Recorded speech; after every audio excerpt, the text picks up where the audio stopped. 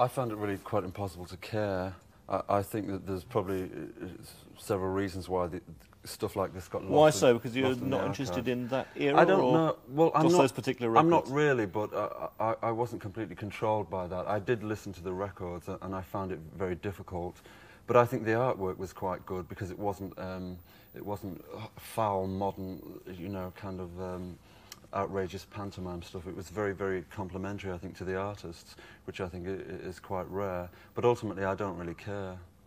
Do you listen to any old stuff at all? Apart Yeah. from early Sandie Shaw, presumably. Well, yes, I do. Yeah, I'm really locked in, in, in the very early 60s, but um, I can appreciate lots of stuff from the 1950s. But, Like, like what? mm, well, I don't know. Billy Fury? Almost.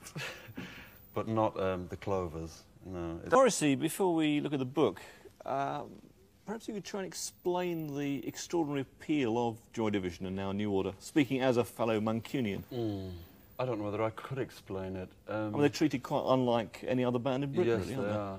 I think um, I think most people I, I think most people's vision of Joy Division is entirely coloured by the death of Ian Curtis, and it's always really the, the really only factor that that um, people seem to discuss.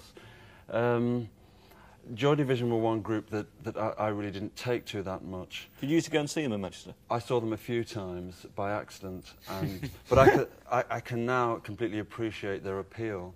But I look upon Ian Curtis a- and certainly New Order as neither singers or, or lyricists, but as symbolists. I think they were quite accurate, and they, um, they, they had the spirit of, of the times.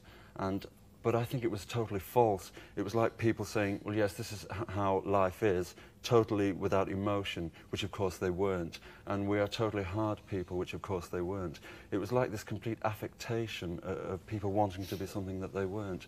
I find it quite sad, but in a musical sense, I hear nothing whatsoever.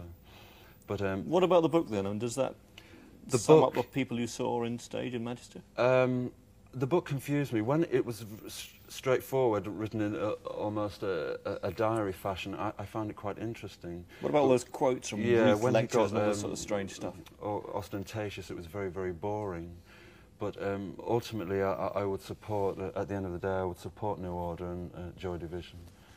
But um, with some confusion, I'll admit.